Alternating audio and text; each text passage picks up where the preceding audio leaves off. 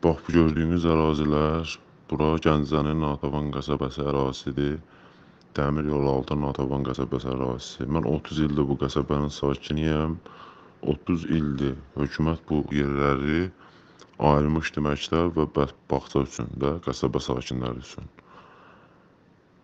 30 ildir bu beləcənə də qalmışdı. Başçı gələndən sonra Elmar Vəliyev başladılar nə bilim torpağın sotunu 11 mindən, 12 mindən, asfalta düşəni 12 minə, 13 minə hətta. Bütün məktəbin yeridir, bağçanın yeridir, hamısını satıblar. Gördüyünüz kimi gətirib transformatorda qoyublar həmin ora o yaşayış üçün. Daş töküblər, satılmayan, məsələn, satılan yerli adam var, alıbdı, tikdirməyib, daş tökdürüb gördüyünüz kimi. Yəni buna bu, bu rüşvətxorluqdur, korrupsiyadır, boşalıb gedir. Bunun bir qabağını alan yoxdur, amma gördüyünüz kimi bütün ərazi nə qədər, neçə qədər ərazidir. Bütün bağçanın yeri, məktəbin yeri, hamısını satıblar saxta sənədlərlə. Çoxusu indi satdığa qoyubdu qorxusundan ki, durduracaqlar. Tikinti üçün icazə ilə bir dənə əllərinə tikinti üçün icazə verilib, harda verilib, nə tər verilib, heç birinin xəbəri yoxdur. Elə tikinti üçün icazə var. Onunla da gətirib ev tikiblər dövlətin yerində. Dövlət buranı ayırıb ki, 30 ildir. Mən bu qəsəbənin sakin olaraq 30 ildir ki, bu qəsəbədə həmin o ərazi məktəb və bağça üçün ayrılıbdır.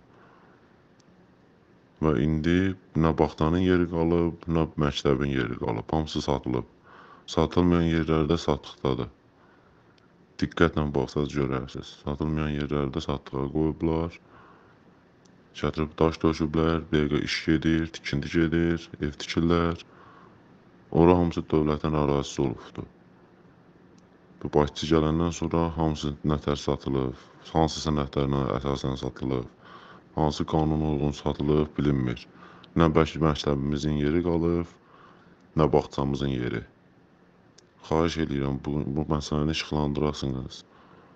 Ki bu nə məsələdir? Yəni bu məktəbin gördüyünüz o düz başdan ayağa kimi hamısı məktəb yeri olubdur. Onun hələ arxa tərəfi var. Demək olar ki, iki küçədə iki küçə başdan ayağa məktəb və bağçanın ərazisi olub.